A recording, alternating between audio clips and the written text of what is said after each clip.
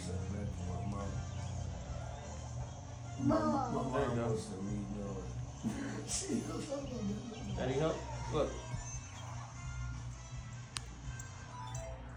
Grandpa gonna buy you a toy.